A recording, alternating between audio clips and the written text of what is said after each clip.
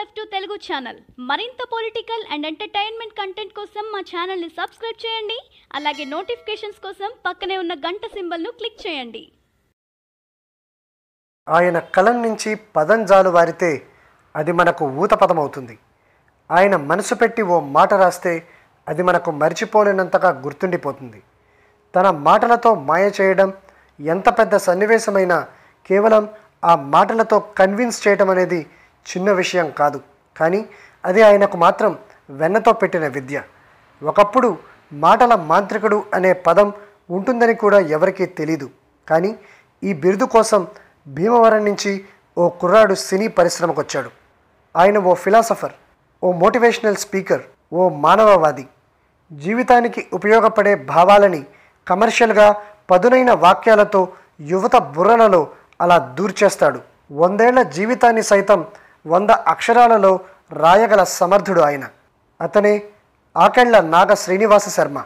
మనం ముద్దుగా పిలుచుకునే త్రివిక్రమ్ శ్రీనివాస్. రెండు దశాబ్దాల కింద స్వయంవరం సినిమాతో ఈయన ప్రయాణం మొదలైంది.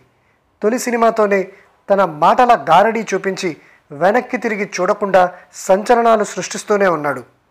చిరునవ్వుతో నువ్వే కావాలి నువ్వు నాకు నచ్చావు మల్లీశ్వరి మన్మధుడు లాంటి సంచలన సినిమాలతో స్టార్ రైటర్ అయిపోయాడు. రచయితగా ఉండి అత్యధిక రెమ్యునరేషన్ తీసుకున్న వ్యక్తిగా త్రివిక్రమ్కు ఓ రికార్డే ఉంది. నువ్వే నువ్వే సినిమాతో దర్శకుడిగా మారిన ఈయన ఆ తర్వాత అతడుతో సంచలనాలకు తెరతీశాడు. ఆ సినిమా టీవీల్లో అతిపెద్ద విజయంగా నిలిచింది. జల్సాతో పవన్ కళ్యాణ్ ఏడేళ్ళ ప్లాపులకు బ్రేక్ వేశాడు. కలేజాతో దెబ్బతిన్న జులైతో మళ్ళీ ఫామ్లోకి వచ్చాడు అత్తారింటికి దారేదితో ఇండస్ట్రీ రికార్డులను తిరగరాశాడు. సన్ ఆఫ్ సత్యమూర్తితో తండ్రి గొప్పతనం చెప్పాడు. ఆతో మరో సూపర్ హిట్ అందుకున్నాడు. అజ్ఞాతవాసితో కెరీర్లో తొలిసారి డిజాస్టర్ చవిచూశాడు. అరవింద సమేతతో మళ్ళీ తనేంటో చూపించాడు. ఇక ఇప్పుడు బన్నీతో సినిమాకు సిద్ధమవుతున్నాడు త్రివిక్రమ్.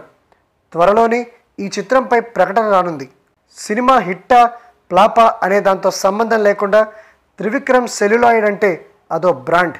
ఆయన సినిమాకి వెళ్తే నాలుగు నవ్వించే జోకులు మరో నాలుగు జీవితానికి పనికొచ్చే మాటలు వినేసి కమర్షియల్ విందు భోజనం చేసేసి హాయిగా ఇంటికెళ్ళి పడుకోవచ్చు.